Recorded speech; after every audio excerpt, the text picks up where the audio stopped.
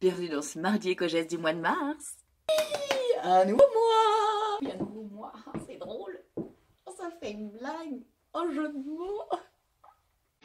That clock keeps ticking like a metronome, and my thoughts keep telling me to get me home. Et le 8 mars, qu'est-ce que c'est? C'est la journée internationale du droit de la femme. Donc pour l'occasion, je te propose un mois entier sur le zéro déchet pour nous, les femmes. Ah ouais? Et euh, comment tu fais du droit de la femme euh, zéro déchet, toi? Non mais euh, c'est pas que pour les femmes. Hein. En vrai, nous on accepte tout le monde. Cisgenre, non-binaire. euh. D'ailleurs, le premier mardi, on va faire sa crème de jour et son tonique. Parce que faire soi-même, c'est quand même la meilleure façon pour limiter ses déchets.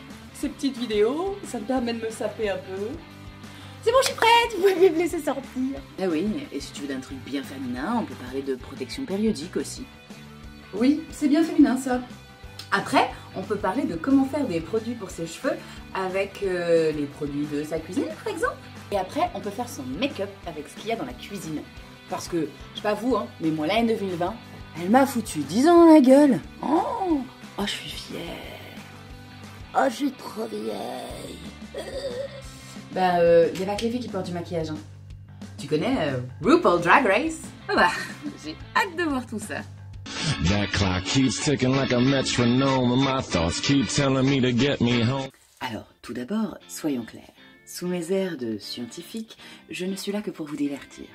Donc gardons bien en tête que toutes les peaux sont différentes et que ce qui marche pour moi ne marche pas forcément pour tout le monde. Et euh, du coup, tu sers à quoi? Eh ben, je peux te dire les choses à éviter dans tes produits de beauté par exemple. Parce que ce qui est mauvais pour la planète, c'est mauvais pour nous tous. Il y a notamment les filtres UV qui protègent la crème plus que ta peau. Et puis les silicones qui mettent entre 400 et 500 ans à se dégrader. Tu peux les reconnaître à des noms comme diméthicone ou cyclohexaxyloxane. De quoi? Ouais, t'as raison, c'est chiant. Fais attention aux emballages du coup. Privilégie des emballages recyclés ou recyclables, comme le carton ou l'eau vert. Parce que, au risque de me répéter, seulement 20% des plastiques produits sont recyclés. Oui, ça se voit à l'œil nu. C'est bien ça. Fais attention au gommage aussi, parce que la plupart contiennent des microbilles de plastique, des billes si infimes qu'elles passent au travers des mailles du filet et finissent dans l'océan et dans l'estomac des poissons. Alors qu'il est si facile d'en faire avec du marc de café et un peu de miel. Bon, euh, du coup, tu les fais comment tes trucs? Comme base, j'utilise de l'huile de chanvre parce qu'elle est produite localement et que c'est un excellent nettoyant pour les peaux sujettes à problèmes chroniques. Elle est aussi anti-inflammatoire et elle régule l'excès de sébum de notre peau. Elle a même des qualités hydratantes et anti-âge. Perso, j'utilise même pur comme démaquillant. Enfin, c'est un peu gras quand même. J'ai pas envie de briller de mille feux non plus. Oui, je comprends. Pour balancer cet effet, je rajoute un tout petit peu de maïzena. Oui, je sais, c'est surprenant. Mais c'est un excellent matifiant et c'est même un anti-ride naturel. Ouais, enfin, j'aime pas trop l'odeur de l'huile de chanvre. Ah, et bah, tu rajoutes des huiles essentielles. Choisis-en une qui n'est pas photosensible pour éviter les taches avec le soleil sur la peau. Perso, je rajoute de la lavande et du tea tree pour leurs propriétés antibactériennes et antifongus, et du bois de santal et de l'orange sauvage pour l'odeur.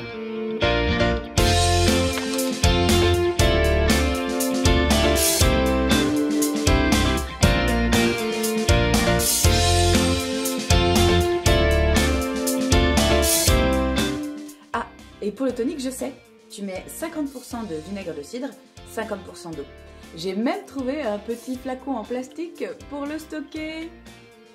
Et oui, il permet de resserrer les pores, d'atténuer les cicatrices, d'équilibrer la production de sébum de ta peau et même de lutter contre le vieillissement prématuré. Ah oui? Ouais, enfin, avec une bonne hygiène de vie aussi. hein. D'ailleurs, depuis que j'utilise ces crèmes, Et que tu n'as plus de vie sociale je n'ai plus de boutons. À part ceux-là, là. Mais euh, c'est lié au début de mes règles. Attends, attends, c'est pour la semaine prochaine, ça That clock keeps ticking like a metronome, and my thoughts keep telling me to get me home. Et pour commencer, calculons un peu. J'ai commencé mes règles à 12 ans. J'en ai maintenant 33. Ce qui fait 21 ans à raison de 20 protections par mois pendant un an. Ça nous fait 240 protections par an.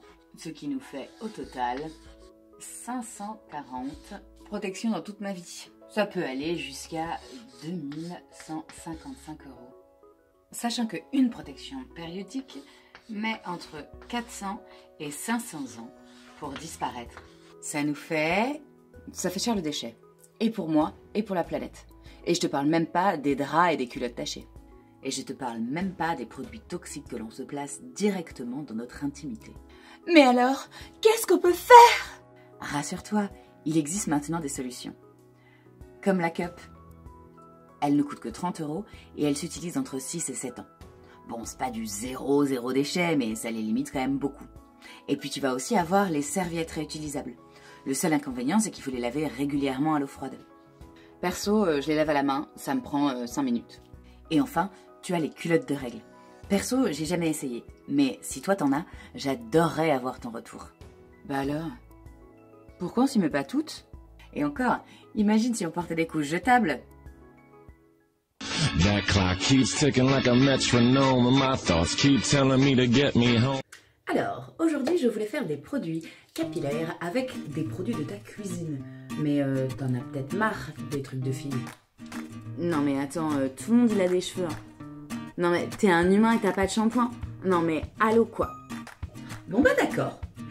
Tu sais que la plupart des produits de cosmétiques contiennent des ingrédients chimiques qui sont nocifs et pour toi et pour l'environnement.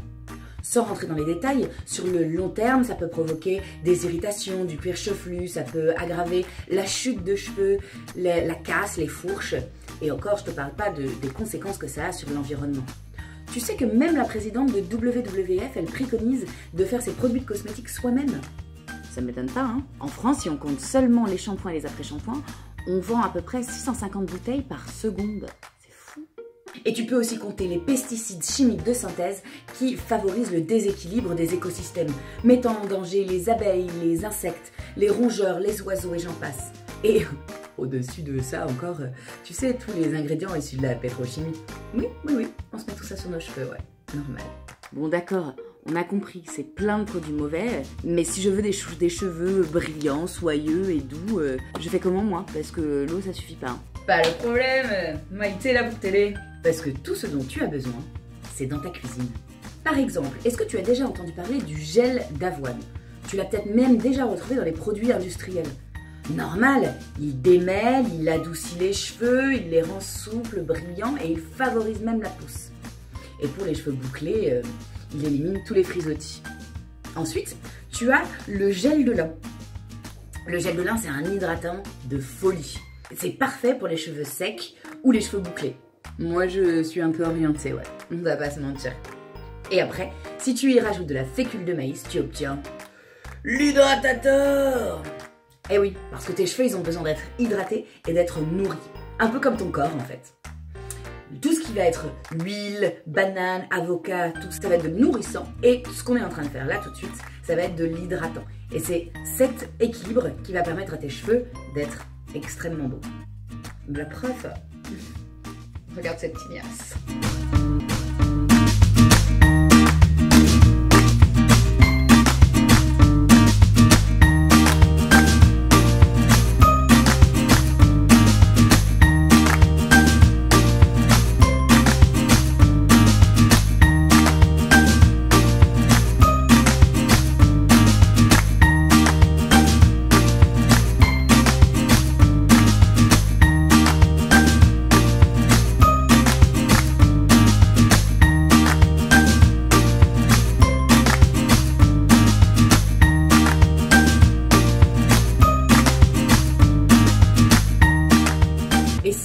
Remplace le gel douche par le savon en barre, ce mois-ci, on a déjà réussi à éliminer 7 bouteilles en plastique de notre salle de bain. 8 si on compte le dentifrice. Bien joué Eh ben t'as raison Autocongratulate-toi Ouais, puis moi je fais du franglais. Rien à foutre. Parce qu'avec mes cheveux, je fais ce que je veux. That clock keeps ticking like a metronome, my thoughts keep telling me to get me home.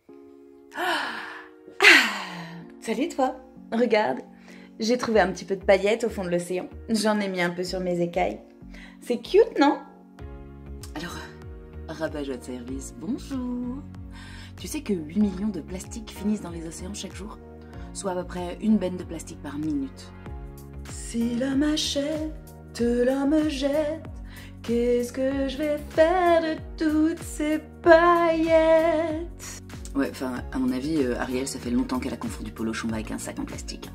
Et pour éviter qu'elle se construise d'une petite dépendance là pour euh, agrandir sa collection de déchets, je te propose une petite recette fait maison. Parce qu'avec tous ces euh, confinements, couvre-feu, fermeture de bars, de restos, de théâtres, de musées, on a quand même vachement de temps devant nous. Alors, je te propose une petite recette de mascara et de bronzer maison.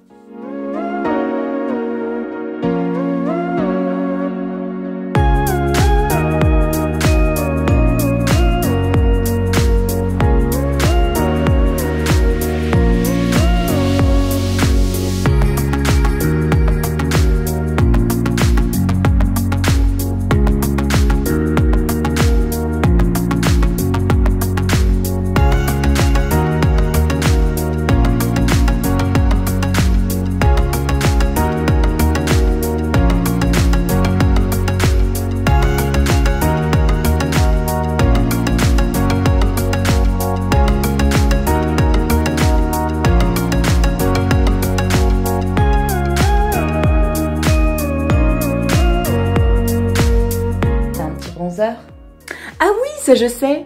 Tu mets un petit peu de... Euh, comment ça s'appelle déjà euh, Du chocolat en poudre. Mhm. Comme ça là. Un petit contouring au chocolat en poudre. Oui, presque. C'est juste pour te donner un petit goût quand on te lèche. Vaut mieux être sous l'océan que dans ça. Clock keeps ticking like a metronome, and my thoughts keep telling me to get me home, but my balls keep telling me to let me oh, oh, just let me oh.